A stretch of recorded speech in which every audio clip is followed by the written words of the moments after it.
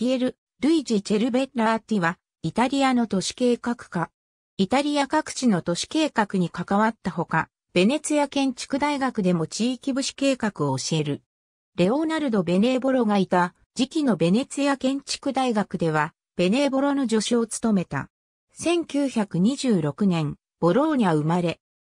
ピアル・イージ・セルバレイシ・ウィズドニ・マホンアンドレア、エミリーニ・イン・キアスディのイタリー・フォータグラフト・バイ、パオロ・モンティ・ベネーボロと同じベネツィア建築大学で都市史学の教鞭を取るカルロ・アイモニーノのフィールドワーク手法を応用して都市計画に活かしていた。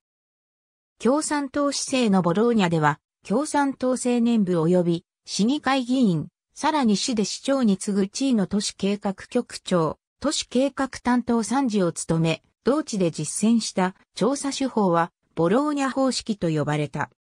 ボローニャ方式で展開された保存手法は初めて旧市街地、セントロストリコの全域に対して示された理論的かつ実践的具体的方策で、ハードとしての街並みだけでなく、経済的弱者の保護も含む、社会的環境も考慮していたため、総合的保存と呼ばれた。日本で翻訳出版されている著書は次の通り。ありがとうございます。